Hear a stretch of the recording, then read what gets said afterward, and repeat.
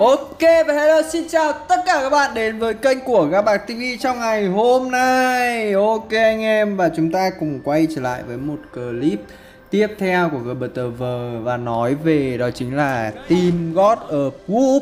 À không, nói chung là đã đổi tên rồi thì sẽ là Gao Esports anh em. Thì uh, ngày hôm qua sau khi mà mình lên một clip thật sự là nó rất là buồn trong năm 2024 này của mình. Thì... Uh, tiếp theo chúng ta sẽ đến với một clip uh, mà mình đã hứa với các bạn là mình xin các bạn là sau đêm nay khi mà mình nằm mình suy nghĩ rất là kỹ về cái vấn đề là mình có tiếp tục uh, gọi là đầu tư vào God of War hay không. Uh, và những những gì sắp tới diễn ra sắp tới của God of War. Đấy thì nói chung là mình uh, nói thật sự với các bạn là hiện tại bây giờ thì sau một đêm mà mình làm mình suy nghĩ rất là nhiều suy nghĩ rất là kỹ cũng đã có rất là những cái thứ nó nó nó nảy ra và nó mông lung ở trong đầu của mình ấy thì uh, chắc là bây giờ mình sẽ nói rõ với các bạn luôn. Đầu tiên là thật sự mình thật sự muốn nghỉ. Tức là mình thật sự muốn nghỉ ngơi ở trong cái giai đoạn này. Bởi vì uh, thứ nhất là mình cảm thấy là mình đang khá là mệt mỏi ở trong cái việc mà cứ đầu tư đi đầu tư lại đầu tư hoài đầu tư mãi trong vòng suốt. Đó chính là một thời gian rất là dài mà vẫn không có được những cái kết quả mà như mình mong muốn. Thật sự ấy đối với bản thân mình ấy thì mình đầu tư esports với một cái ước mơ là được một lần cầm cúp uh, được một lần bước ra gọi là bước ra sân khấu ở một cái vị trí cao nhất.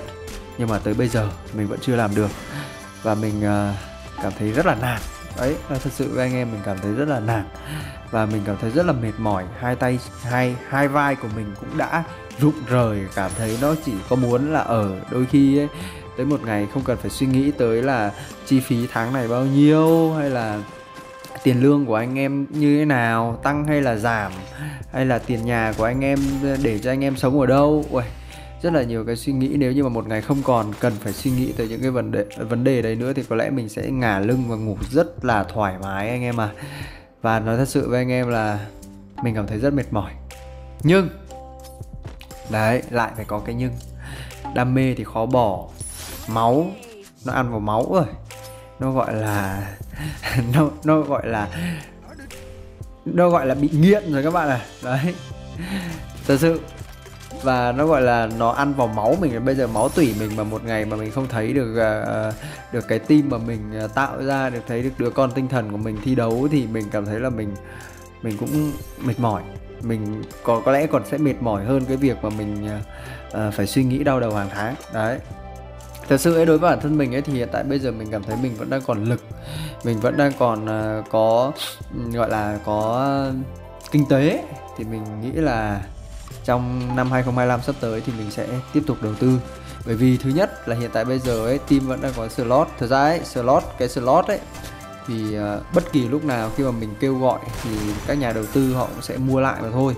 Nhưng mà đổi lại ấy, thì đồng nghĩa với việc là những người mà họ đi với mình thì họ sẽ phải chuyển qua một công ty mới và cũng không biết là ở bên đấy môi trường người ta như thế nào. Và nói thật sự thì uh, uh, bản thân mình cũng đang cảm thấy rất là tiếc nuối vì vì tới bây giờ tới bây giờ mình vẫn chưa đạt được những cái thứ mà mình mong muốn. Cho nên là bản thân mình vẫn đang còn tiếc nuối. Đó là lý do vì sao mà 2025 này các bạn sẽ vẫn tiếp tục thấy Cao Esports thi đấu. Nói chung ấy tư tưởng của mình tư duy của mình tới thời điểm hiện tại thì có thể ấy cái slot nó là một cái khoản tiền rất là lớn đúng không các bạn? Một cái, cái slot ở một cái giải quốc tế như thế nó là một khoản tiền rất là lớn rất là to luôn rất là bự luôn. Nhưng mà mình đường nào bao nhiêu năm nay mình cũng đã mất rất rất rất rất rất nhiều các khoản tiền bự rồi thì bây giờ mình quyết định rồi. Tới một thời điểm nào mà mà God of War trong 2025 này nếu như mà vô tình rớt xuống và mất đi cái slot này thì lúc đó mình sẽ ngưng đầu tư. Còn thời điểm hiện tại mình vẫn cảm nhận được cái lửa của những người ờ, mà họ đi theo mình. Và mình vẫn cảm nhận được là mình nên làm một cái gì đấy. Đấy mình nên tiếp tục. Thì có lẽ là mình sẽ vẫn còn tiếp tục với cái cái cái team God of War này. Ít nhất là cái logo sói nó sẽ vẫn còn trên bản đồ. Đấy. Thì uh, đấy đấy nói rõ cho các bạn là như thế để các bạn hiểu thì tiếp theo là mình thấy các bạn comment cũng rất là nhiều đó chính là cái vấn đề là là mình nên nghỉ ngơi đi. Mình bảo là ở anh bạc uh, gao bạc tv đầu tư yêu esports bao nhiêu năm nay và không có cái gì thì nên nghỉ ngơi đi. Thật sự các bạn ui mình cảm ơn các bạn rất là nhiều luôn. Cảm ơn vì những cái gì mà các bạn đã nói với mình. Cảm ơn vì những cái mà các bạn đã gọi là là những cái lời khuyên của bạn. Mình cảm cảm thấy rất là là là vui nhá. Bởi vì ít nhất là mình uh, phải có cái gì đấy thì mới gọi là là là là ừ, khiến cho các bạn an ủi mình nhiều như thế. Thật sự là đấy là một cái uh, mà bản thân mình cảm thấy là mình uh, nên cảm ơn tất cả những người ở đây những cái người mà luôn luôn theo dõi luôn luôn ủng hộ team của mình. Thật sự thì uh, tới cái giải đấu năm sau mình cũng chưa biết là mình sẽ có những cái quyết định gì mới hay không. Ai đi ai ở lại hay là uh, có huấn luyện viên nào mới hay không thì cái đấy thật sự ấy cái đấy mình cần phải có thời gian để để để, để không phải là để suy nghĩ nữa mà để chắt lọc lại nhưng mà để nghiên cứu. Đấy mình sẽ cố gắng mình tạo ra được một cái team nó ổn nhất có thể một cái team mà có thể là tới sang năm đi thi đấu và nó có được những cái thành tích tốt nhất thì cũng nhân tiện đây luôn. Nói chung là cũng gọi là một cái thông tin luôn. Tức là nếu như mà các bạn là một ờ, người đam mê sport một người muốn trở thành một tuyển thủ chuyên nghiệp. Thật ra hiện tại bây giờ ấy cái slot tuyển thủ chuyên nghiệp ấy hiện tại bây giờ cả Việt Nam chỉ có đâu đó là 20 người được bắn chính thức ở trong tất cả các giải đấu. Uh, và Ờ, uh, 5 slot dự bị tức là hiện tại bây giờ ở Việt Nam mình chỉ có 5 team lớn uh, tham gia các giải đấu lớn ở trên quốc tế mà thôi. Và nếu như mà các bạn là một người có đam mê với esports và có đặc biệt là có yêu mến Gao và có muốn bước chân vào giúp đỡ Gao đạt được những cái thành tích sắp tới thì thật sự luôn mình hy vọng là các bạn sẽ ứng cử có thể là các bạn sẽ ờ, thông qua một cái gì đấy các bạn có thể gửi ờ, mail về cho mình uh, gửi clip các bạn bắn về cho mình hoặc là các bạn có thể tham gia các cút, cút tầm. Dạo gần đây thì mình cũng đang xem rất là nhiều cút tầm để có thể lựa chọn được những cái cái cái uh, nhân tài mới nhân tài tốt nhất. Thực sự mình cũng có nhắm một vài bạn rồi nhưng mà cũng không biết là là là là là có ổn hay không. Cũng không biết là liệu liệu rằng là các bạn ấy thì um, có thật sự khớp với team hay không thì cái đấy chúng ta cũng cần phải có những cái vòng loại vòng sơ tuyển để các bạn có thể bước vào được ờ, cái line up chính thức của God of War. Thật sự ấy thì tới thời điểm hiện tại ấy, cái line up hiện tại của God of War ấy hiện tại bây giờ thì các bạn bắn cũng khá là ổn. Nhưng mà mình đang muốn có những cái sự đột phá ít nhất là ở những cái bạn trẻ mình luôn luôn hướng về những cái bạn trẻ để để có được những cái mà nó gọi là tương lai của esports ấy. Bởi vì hiện tại bây giờ ấy, khi mà các bạn trẻ ở trong Việt Nam mình không được va chạm nhiều ấy, thì mình cảm thấy là cái cái Free Fire của Việt Nam đang bị thụt lùi khá là nhiều.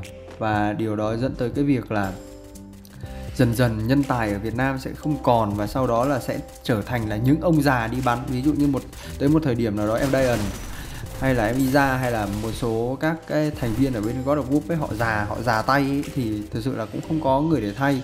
Thì mình cũng đang suy nghĩ tới cái việc ấy nếu mà ổn nhất thì mình sẽ cho các bạn test. Bạn nào bắn hay bắn ok mình có thể cho các bạn lên tuyển sớm. Còn nếu như bạn nào mà muốn thật sự muốn tham gia esports mà chưa đủ tuổi các bạn cũng có thể test ở bên mình và sau đó thì các bạn có thể ở team 2 để tham gia rất nhiều các giải đấu lớn nhỏ của FIFA hiện tại như là uh, giải đại chiến quân đoàn hay là chiến địa phân tranh những cái giải đấu nó gọi là những, những giải đấu bán chuyên đấy để các bạn có thể giữ tay và đặc biệt là các bạn sẽ được uh, gọi là các anh lớn ở trong nghề này uh, hướng dẫn các bạn từ kỹ năng đi bo hay là tư duy khi mà các bạn uh, tham gia thi đấu bắn nhau các thứ. Đấy thật sự rất là nhiều. Và nói chung là mình cũng đang rất rất rất là muốn các bạn uh, tham gia vào cái uh, cái cái cái này để ít nhất là Việt Nam chúng ta giữ được càng nhiều nhân tài càng tốt các bạn ạ. Chứ còn nếu mà cứ tình hình này tôi sợ một thời gian nữa thì kể cả tôi có muốn đầu tư cũng chả còn ai mà bắn cũng chả còn ai mà tham gia các bạn. Khổ thế chứ lại. Ok nói chung là cũng là một clip uh, thông báo nho nhỏ thôi. Uh, thông báo là ở uh, tôi vẫn còn đam mê và tôi vẫn còn làm. Nên là anh em uh, nếu như mà ấy thì hãy uh, luôn luôn gọi là theo dõi và ủng hộ team của chúng tớ. Đấy nói chung là như thế đấy và thôi, nói chung là mình cũng đã nói tất cả những gì mà mình muốn nói rồi. Chắc là hẹn gặp lại các bạn ở những clip tiếp theo nha. Bye bye!